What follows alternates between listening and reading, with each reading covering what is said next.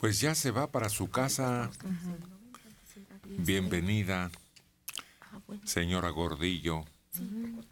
La PGR hizo este obsequio navideño a Elba Ester, prisión domiciliaria. Por cierto, anoche el partido Nueva Alianza Panal, fundado por la ex lideresa del sindicato, aprobó una alianza electoral para apoyar al candidato del PRI. Cuatro meses, no, cuatro años y diez meses de que fue detenida, acusada de delincuencia organizada y lavado de pesos, Gordillo se irá a uno de sus departamentos gracias a que la Procuraduría retiró una impugnación que impedía que continuara su juicio en el hogar. Qué curiosa coincidencia, oye. Así, así pasan, así pasan. ¿Por qué? ¿Qué tiene que ver? Bueno, pondría ella que fue por el apoyo que le da su partido al candidato oficial. ¿Es una reconciliación? Pudiera ser un- llega a reconciliación porque pues no, pero sí eh, un grado de clemencia. Pues su influencia política fue determinante y se le atribuye el triunfo de un candidato. Así que ahora quién sabe si en esta forma esté conchavándose, como decimos nosotros familiarmente, una especie de simpatía. Mm, de trato conveniente, lo llamaría más. Le conviene a ella para que ella le quiten todas las trabas que le han puesto en el camino para que tenga este tipo de prisión. Y O sea que era un encarcelamiento político. Sí. Sí, sí. Eso era, nunca lo ocultaron. Sí, porque le enderezaban acusación y luego la disminuían, la diluían hasta que desaparecía. Es, sería, fue un encarcelamiento político y es un excarcelamiento político también totalmente Sí, es cierto. oportuno. Oportuno totalmente. Ahorita ella tiene su moneda de cambio, que es una moneda que solo puede presentarse a la caja a cobrarla cada seis años. Porque es ahí cuando es muy útil a todo el mundo. Ya después se le pierde el encanto. Su Bitcoin. Su Bitcoin. Ándale, moneda que está en el aire, Sí. pero que tiene influencia, efectos económicos, escándalo y hasta temores. Bueno, pues felicidades a doña Elba y todo lo que tiene, todo, todo, todo, estuvo congelado prácticamente. ¿A quién le corresponderá esa herencia multimillonaria que posee? Bueno, le queda una hija y tiene nietos. Entonces, alguno de ellos le corresponderá. Pero por lo pronto, curiosamente, las condiciones de ella, de riqueza, de posibilidades de salir del país, que fue el argumento para no liberarla, para no darle presa, eh, presidio domiciliario, o como se le llame, cárcel, ¿cómo se dice? Eh, eso. prisión domiciliaria fue que sus condiciones económicas, el acceso que tenía ella muchos elementos, podían hacer que se fuera, que huyera del país.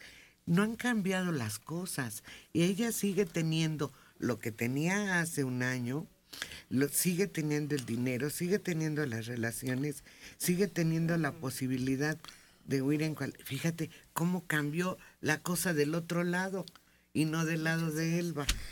Pero es un buen ejemplo de lo que puedes hacer en México si te lo propones. Mira, el señor Slim, a base de alianzas, de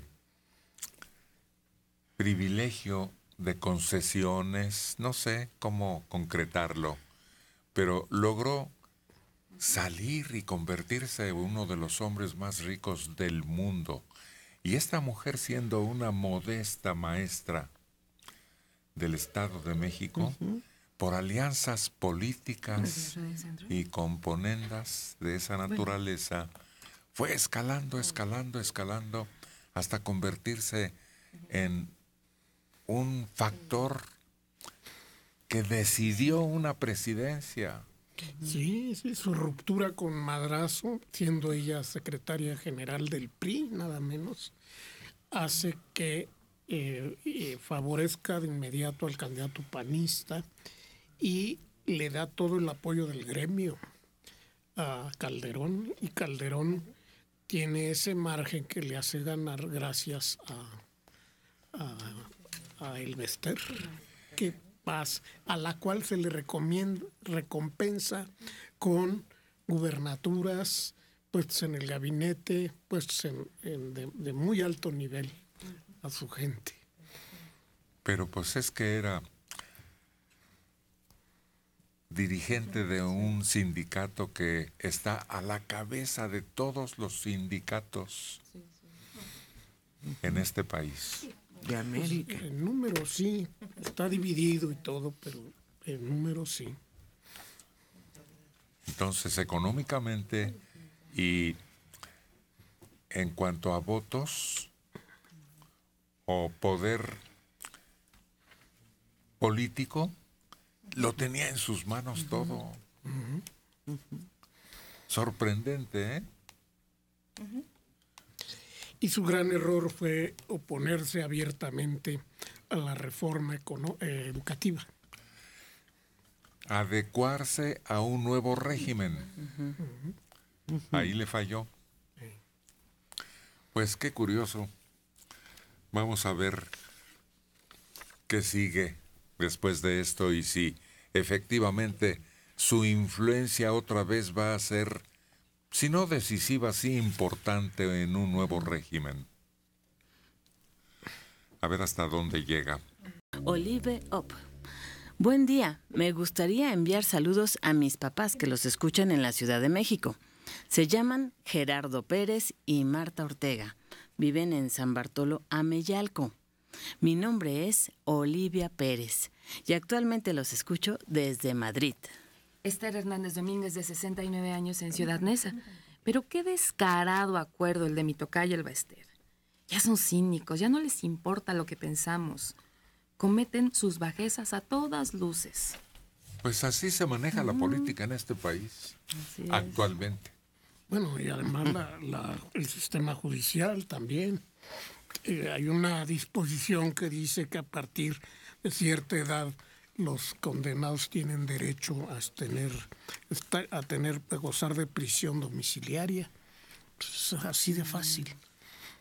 Y No su hay- condición de salud también. Sí. Son dos factores básicos. O sea, no hay nada de monstruoso, Pues, extraordinario en lo que pasó. No, sí hay algo que no está bien. Ella tenía ese derecho desde hace tiempo y siempre le ponían trabas. Cuando ya le habían dicho que sí, algo le atravesaban, alguna otra acusación, el juez se había ido de vacaciones, lo que quisieran. Y hasta ahorita se lo están haciendo válido. Por eso tiene un manejo político, pero legal. Sí. Eso es lo, lo contundente. Sergio Medina Jiménez, de 66 años, en Atizapán de Zaragoza. Hablando de política, su mesa de trabajo es como una porra villamelona de fútbol. Si va ganando el América, bravo, arriba el América. Si va ganando el Guadalajara, bravo, las chivas arriba. En programas pasados habían criticado al PRI y sus decisiones. Y ahora que saben que el partido de la maestra los va a apoyar, ya no hay críticas. Ya se están diciendo que tomaron bien sus decisiones. Ay, ¿Quién dijo eso? eso De veras que quién sabe qué programa estarán escuchando. Bueno. Bueno, bueno. Sí, lo que dijimos acerca días, de la Radio prisión Centro. domiciliaria a la profesora Elvester es porra al partido, entonces sí ya no sé de qué hablo.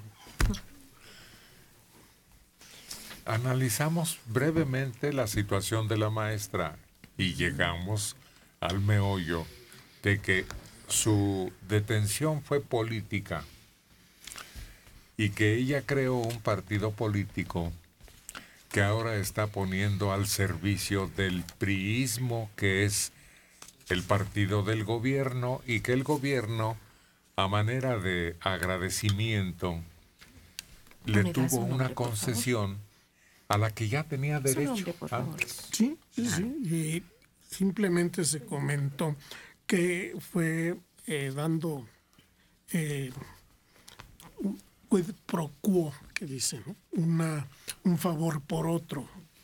Al incorporarse el partido de la maestra al apoyo del candidato del PRI, pues a la maestra se le da esta concesión. Igual lo que tú dijiste, que cuando propició el triunfo de un candidato, recibió concesiones como lluvia de favores. De parte del panismo.